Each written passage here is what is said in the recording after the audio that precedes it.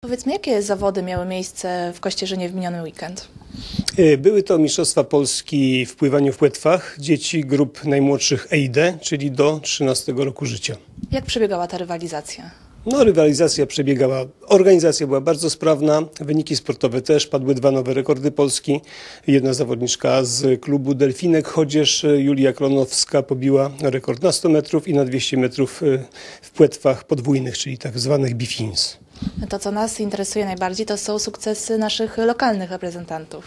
No, sukcesy naszych reprezentantów oczywiście były, też szereg medali, łącznie ze złotymi. Jest tutaj, są tutaj dwa kluby, Manta Kościerzyna i y, Kościerskie WOPR, które tutaj rywalizują dzielnie. No, mimo, że są to młode kluby, płyną się do góry, no, za oczywiście, y, to jest oczywiście wynik pracy trenerów, prawda, którzy y, starają się jak mogą.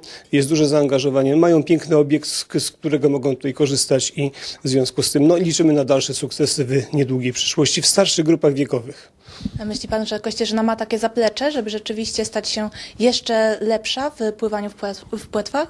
No, Kościerzyna z, ze wszystkich klubów w Polsce ma w tej chwili najlepsze zaplecze, ponieważ jest to e, obiekt sportowy, ma pełny pomiar czasu, jest homologowany przez Polski Związek Pływacki, przez e, Polski Związek Płetwonurkowania, e, także jest obiekt najwyższej klasy i e, są chęci, jest e, oczywiście też również pomoc ze strony e, miasta i starostwa tutaj w e, promowaniu tych zawodów, e, w organizowaniu tych, także mamy już trzy duże imprezy w tym roku, Mistrzostwa właśnie Polski Dzieci, mamy pierwszą Pucharu Polski i finał Pucharu Polski w pływaniu w płetwach też jest w Kościerzynie.